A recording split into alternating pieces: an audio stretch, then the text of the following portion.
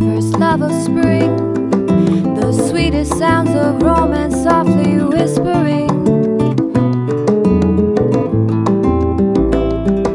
And with the rain, the flowers blossom up to here.